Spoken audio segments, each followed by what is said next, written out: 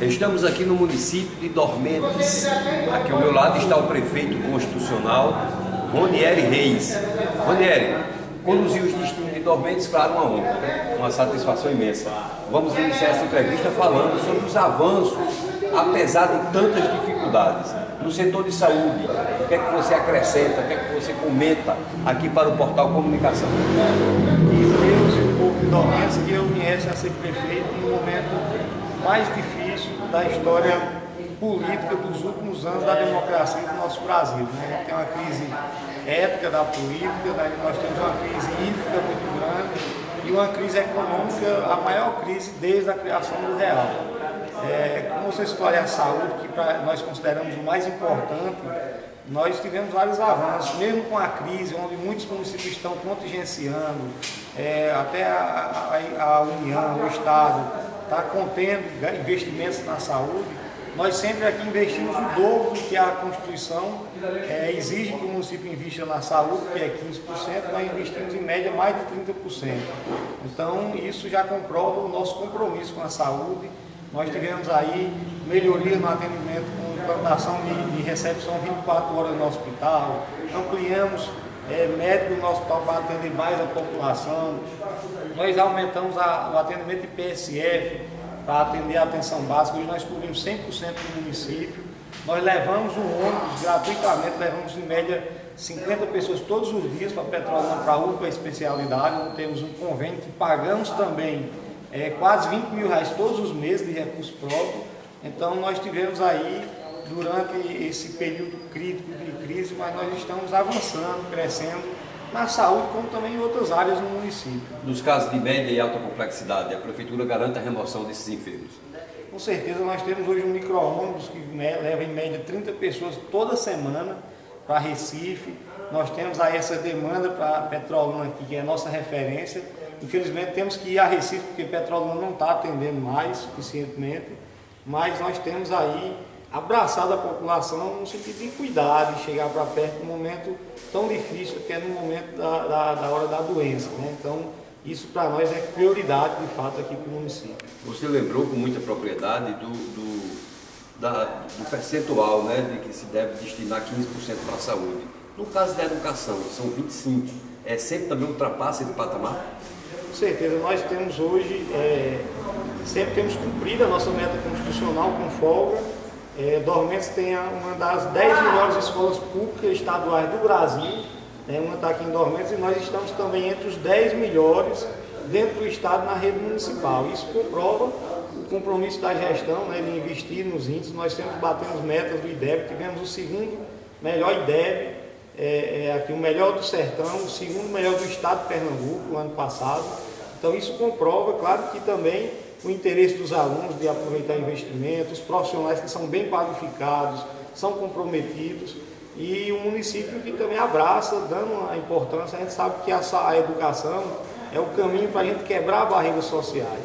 A Prefeitura Municipal, através da Secretaria Municipal de Educação, tem oferecido incentivos para diminuir a evasão escolar?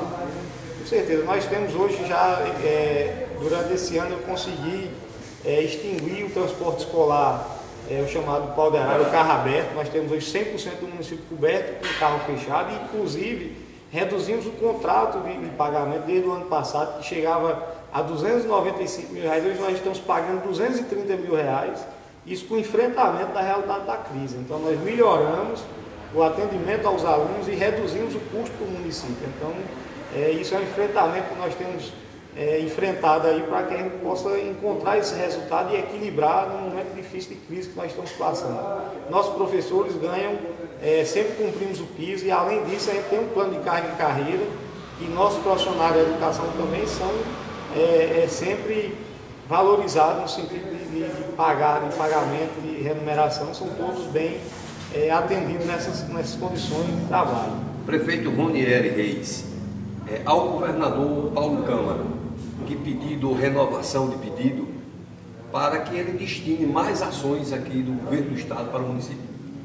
É, o governador está aí, é, a gente sabe, entende o, o momento difícil que está da economia, a economia com retração, mas nós temos aí alguns compromissos que foram assumidos né, pelo governador eu acredito porque eu estou sentindo que ele está encarando com responsabilidade. Nesse momento, é, se o governador tivesse aí fazendo a coisa meio, meio doido, eu até estaria preocupado, porque no futuro a gente ia ter as consequências, como aconteceu no governo federal. Então, eu acredito que o governador Paulo Câmara está buscando sempre com muito equilíbrio.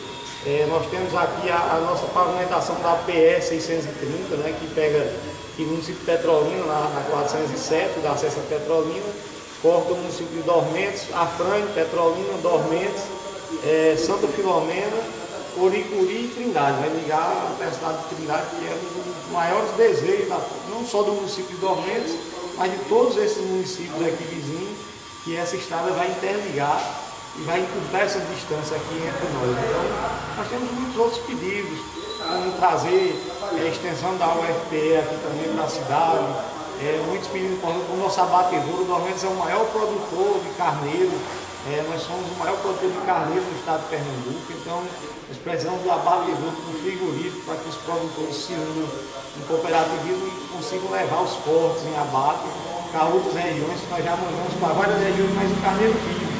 Então isso não agrega muito valor ao produto, a gente precisa dar essa condição melhor de agregação de, de receita para os nossos criadores. Muito bem, é. Bonieri, é, sua mensagem a essa população maravilhosa, já terceiro ano de, gestão, terminando, já o terceiro ano, já é, em 2016 entra no quarto ano né, de gestão.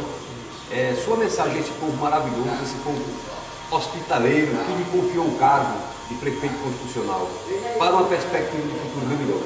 É, eu sempre tenho dito ao povo de Dormentes que eu nunca me senti como chefe do Poder Executivo, mas tenho me sentido como um servidor do povo de Dormentes, o povo que me confiou essa missão que eu tenho encarado com responsabilidade todos os dias. Às vezes a gente se angustia porque os recursos estão cada vez mais escassos, mas é, nós temos aqui, como diz o sertanejo, nós temos a goela dura né, e temos enfrentado essa dificuldade, buscando resultado para o povo de Dormentes e vamos cumprir a nossa missão, com certeza entregando é, um resultado aí muito positivo, com vários investimentos em infraestrutura, vários investimentos na ampliação na área da saúde, da educação. É, estão buscando em todas as áreas, em todos os distritos do interior nós temos obras de infraestrutura, então fizemos também essa descentralização dos investimentos no município. Então eu quero dizer ao povo de Dormentes que nós vamos seguir firmes, sem baixar a cabeça para a crise. Eu tenho dito ao povo de Dormentes que nós juntos seremos maior do que a crise.